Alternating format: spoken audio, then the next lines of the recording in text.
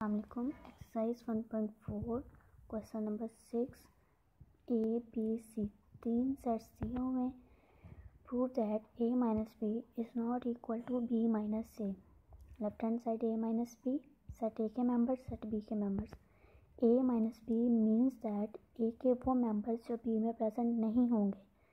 Seven भी नहीं है और एलेवन भी नहीं है. ए माइनस बी नेक्स्ट है right hand side right hand side B minus A set B के मेंबर्स माइनस ए के मेंबर्स बी के वो मेंबर्स जो ए में प्रेजेंट नहीं है वन भी नहीं है वन सॉरी वन है तो वन नहीं लिखा जाएगा फाइव नहीं है वो लिख दिया थर्टीन नहीं है वो लिख दिया नाइन प्रेजेंट था तो नहीं लिखेंगे. राइट हैंड साइड आ रही है फाइव और थर्टीन जबकि लेफ़्ट हैंड साइड थी नाइन और इलेवन दोनों साइड्स इक्वल नहीं है it means that prove that left hand side is not equal to right hand side next है question number seven set U set L set M तीन sets दिए हुए हैं prove that identity property with respect to these sets in sets की identity property find करनी है. First of all union के लिए फाइंड करेंगे. सेकेंड वन इंटरसेक्शन के लिए फाइंड करेंगे.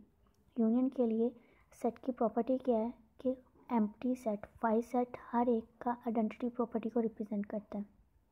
यूनियन में सेट का और फाइव एम्प्टी सेट का यूनियन लेंगे, वो हमेशा उसी सेट के बराबर आएगा.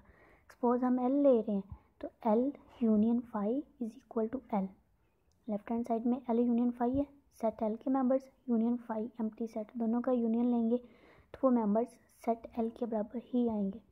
इसी तरह एम का लें M union five is equal to M M के मेंबर्स यूनियन एम सेट दोनों सेट्स का यूनियन लेंगे तो सेट एम के मेंबर्स आ जाएँगे। और वो वापस एम सेट ही आएगा। आइडेंटिटी का मतलब यही होता है कि वो खुद को रिप्रेजेंट करे, उसकी अपनी ही रिप्रेजेंटेशन है। नेक्स्ट वन है इंटरसेक्शन के लिए। इंटरसेक्शन में यूनिवर्सल सेट सबके लिए आइडेंटिटी प्रॉपर्टी को रिप्रेजेंट करता है, हर सेट के लिए। एल के लिए लेंगे तो एल इंटरसेक्ट यू इनका इंटरसेक्शन हमेशा एल के इक्वल आएगा। एल का और यू का इंटरसेक्शन लें। इंटरसेक्शन में दोनों में जो कंजक्टिव नंबर्स होते हैं, मिलते होते हैं, वो वो लिखेंगे।